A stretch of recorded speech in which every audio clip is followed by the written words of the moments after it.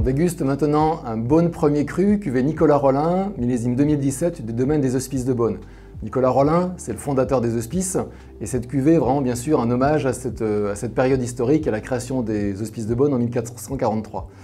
Ce qui est particulier aux hospices de Beaune, c'est que grâce à leur très important parcellaire, euh, il y a beaucoup de cuvées qui sont des assemblages de plusieurs parcelles. Et ce Beaune premier cru Nicolas Rollin n'y fait pas exception, puisque c'est un assemblage de cinq parcelles, comme les Terons, les Sans-Vignes, euh, les Bressandes et les Grèves notamment.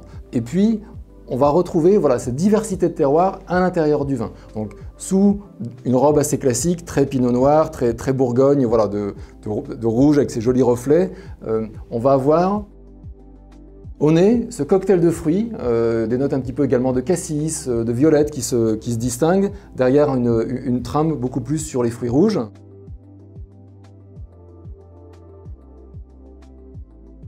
En bouche, on a une belle harmonie, on a des générosités. On voit, on a ces notes un petit peu de fruits noirs frais également qui, ressortent, une petite pointe d'épices.